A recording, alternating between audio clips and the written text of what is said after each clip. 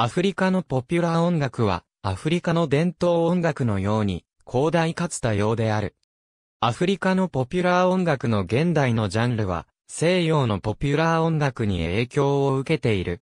ブルース、ジャズ、サルサ、ズーク、ルンバなどのポピュラー音楽のジャンルの多くは、アフリカ人奴隷がアメリカへ持ち込んだ、アフリカの伝統音楽を由来とする。これらのリズムと音は、その後ロックやリズムブルースなどの新しいジャンルに構成された。同様に、アフリカのポピュラー音楽には、西洋の音楽の要素、特に楽器と録音スタジオ技術について取り入れられた。アフロポップは、アフリカのポップの現代音楽を表現するのに時々使用される言葉である。アフロポップはアメリカのポップミュージックとアフリカの音楽の間のダンスとサウンドが混在していることを特徴とし、特定のスタイルや音楽サウンドを指すわけではないが、ポピュラー音楽の一般用語として使用されている。オーケストラバオバブキューバの音楽は、20世紀中頃からサハラ以南のアフリカで人気があった。いち早くアフロポップのスタイルを取り入れたのはキューバの音楽である。アフリカ人にとってクラーベがベースのキューバの音楽は親しみやすくエキゾチックに聞こえた。エンサイクロペディア・オブ・アフリカ V1 より1940年代よりセプテート・アバネーロやトリオ・マタモロスなどのアフリカ系キューバ人グループはレオポルドビルのラジオ局のエアプレイの結果、今後地域で広範囲にわたる人気を確保した。レオポルドビルでは、クラブや録音スタジオ、コンサート会場が激増し、1940年代後半から1950年代まで、キューバの音楽の人気を駆り立てた。今後のバンドは、歌手も含めて、キューバ人の楽曲をそのままカバーしていたが、すぐにフランス語で彼ら自身の作品を制作するようになった。コンゴ人は、ルンバと呼ばれる新しい音楽ジャンルを取り入れ、グアヘオの旋律をエレクトリックギターに適用させ、アフリカ地域の味を持たせた。ギター主体の音楽は、コンゴから徐々に広がっていった。そして、ますますそれぞれの地域の感性を持たせられた。結果的に、例えばスークースなど様々な地域の様々なジャンルの設立につながっていった。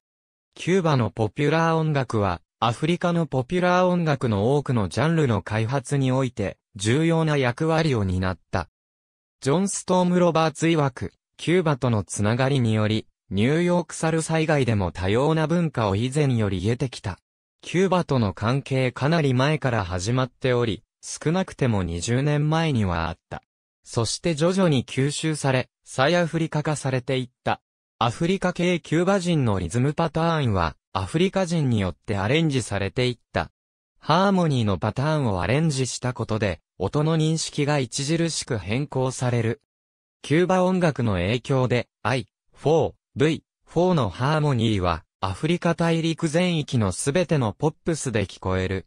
それらのコードは、西洋の音楽理論の基本的な競技に従って進行する。しかし、ゲルハルト・クービックは、アフリカのポピュラー音楽のコード進行は、必ずしもそうではないと指摘している。今後のポピュラー音楽で、CFGF、I4V4 というコード進行のサイクルは、西洋の音楽の階層的な進行と同じであるとは定義できない。アフリカを襲ったキューバ音楽の最大の波は、サルサだった。